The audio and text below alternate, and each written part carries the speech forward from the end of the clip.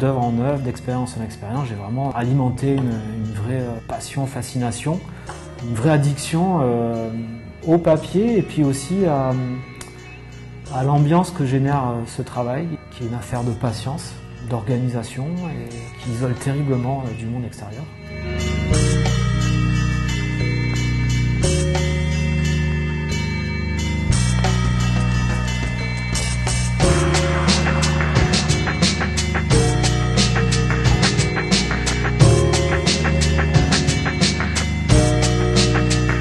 Petit à petit, j'ai commencé à travailler euh, des feuilles euh, différentes dans l'idée de les assembler après coup pour donner de l'épaisseur, euh, donner de la une sorte de profusion dans le détail, hein, puisque dès que dès qu'on assemble et qu'on superpose des éléments en papier découpé, ça devient, ça prend un relief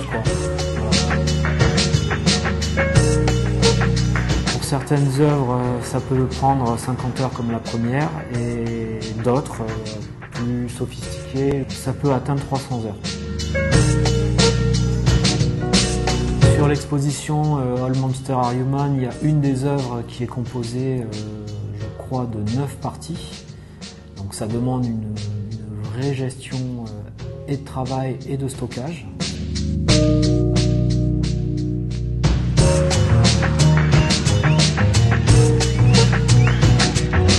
Une multitude d'essais et de, on va dire, d'achats divers, j'ai trouvé euh, cet outil-là, qui est une sorte de, scalpel avec une toute petite lame pivotante que je peux utiliser un petit peu comme un stylo ou un crayon. À savoir qu'en fonction de, la ligne de coupe que, je suis, la lame s'adapte aux courbes, au mouvement, de manière très fluide, sans appui.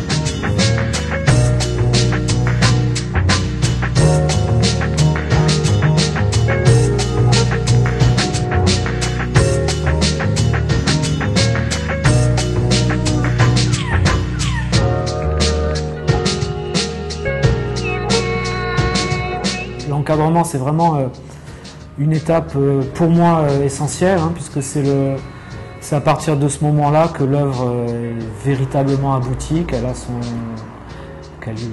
prend son aspect définitif, qu'elle prend son amplitude.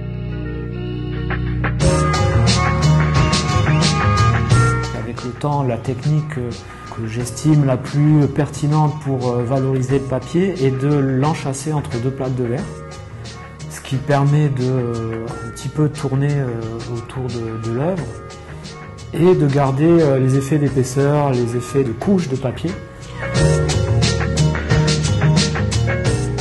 Donc là c'est une sorte de vernis, vernis technique pour conserver l'œuvre et pour moi le moment où l'œuvre est sublimée. Voilà, donc cette, cette étape est source à la fois de joie, de, parfois d'inquiétude. Mais euh, voilà, l'aboutissement de l'œuvre ne m'appartient pas, c'est le, le travail de l'encadreur.